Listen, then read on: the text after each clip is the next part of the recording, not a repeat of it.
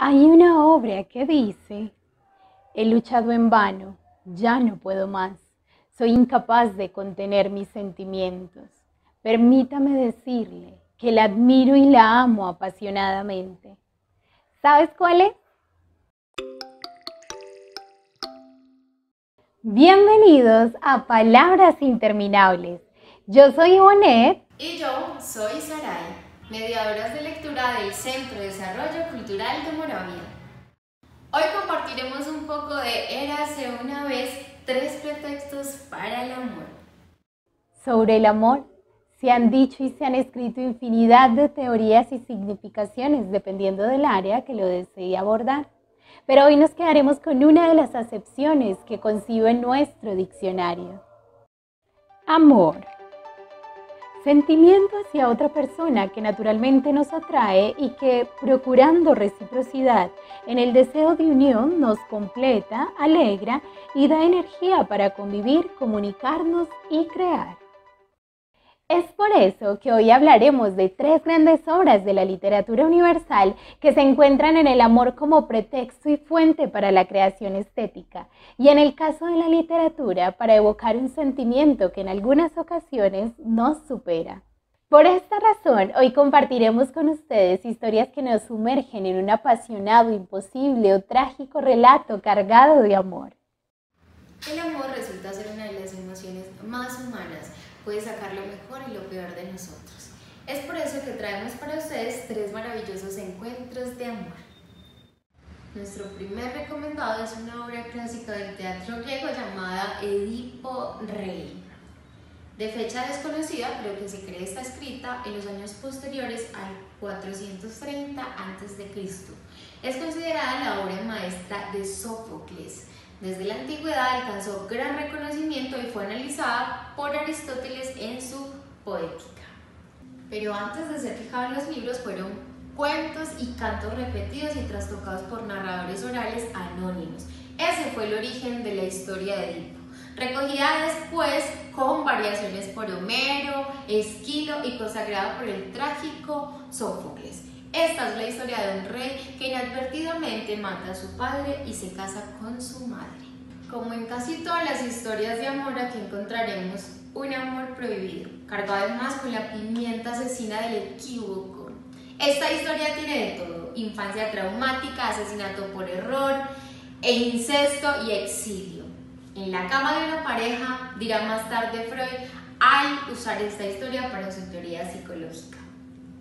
Nuestro segundo recomendado es la obra Orgullo y Prejuicio. Esta creación de la novelista británica Jane Austen presenta una particular relación que se expone entre la torpeza, la ironía, la crítica, el romance y el humor para trascender la tradicional novela romántica logrando una creación que exponía la situación de las mujeres en su época, la frivolidad del círculo social al que pertenecía y de una manera tan detallada y exquisita el momento en el que vivía que casi nos permite a quienes nos acercamos a su obra recrear las escenas y personajes que allí están descritas.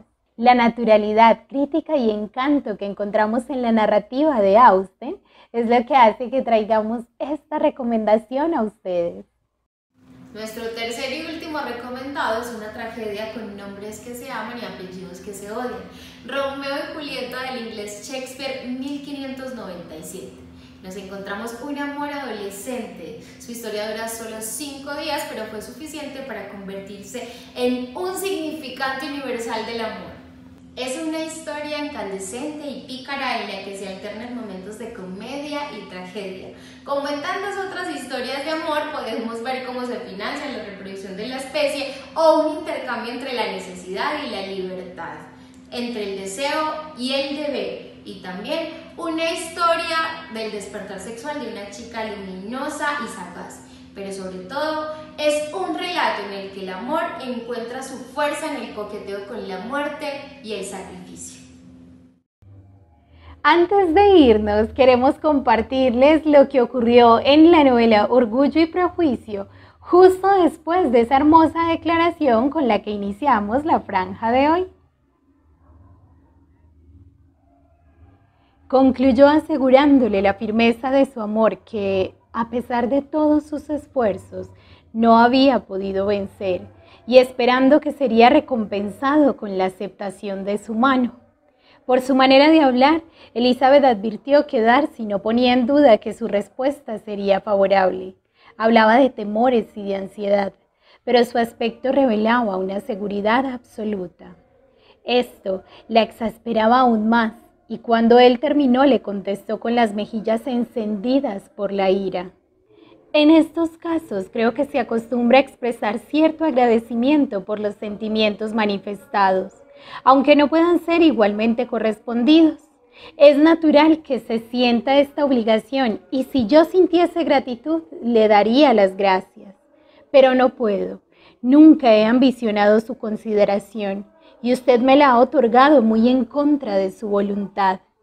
Siento haber hecho daño a alguien, pero ha sido inconscientemente, y espero que ese daño dure poco tiempo. Los mismos sentimientos que, según dice, le impidieron darme a conocer sus intenciones durante tanto tiempo, vencerán sin dificultad ese sufrimiento. Jane Austen Esperamos que hayan disfrutado esta invitación a explorar las historias de ayer y de siempre. Un abrazo fuerte y que la lectura siempre los acompañe.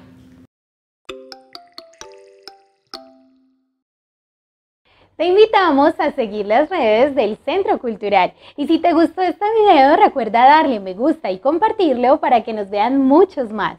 Nos vemos el próximo martes. ¡Chao!